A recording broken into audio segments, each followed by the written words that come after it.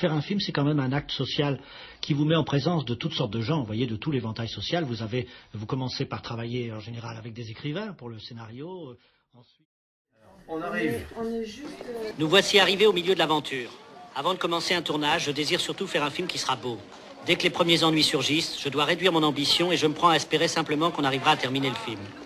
Vers le milieu du tournage, je fais un examen de conscience et je me dis Tu aurais pu travailler mieux, tu aurais pu donner davantage.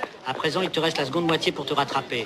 Et à partir de ce moment, je m'efforce de rendre plus vivant tout ce qui sera montré sur l'écran. Je vous présente Pamela, me semble enfin lancée sur de bons rails. Les acteurs sont à l'aise dans leur personnage, l'équipe est bien soudée, les problèmes personnels ne comptent plus, le cinéma règne.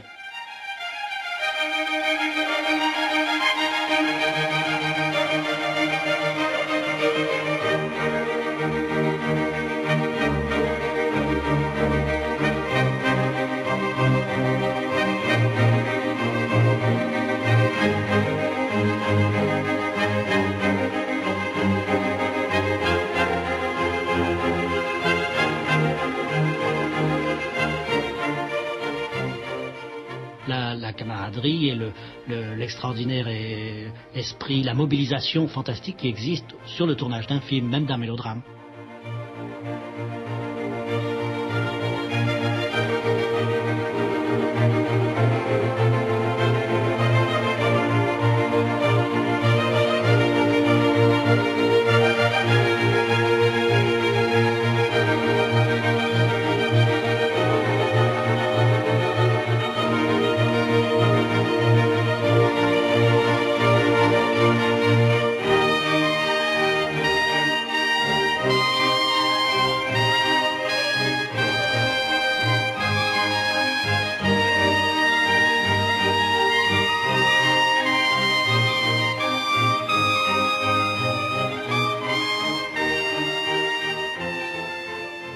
Amateur est quelqu'un de très généreux parce que sa vie est dédiée aux autres, si vous voulez, un amateur de peinture, un amateur de musique, un amateur de cinéma, euh, c'est une, une attitude très généreuse parce qu'on vit pour les autres.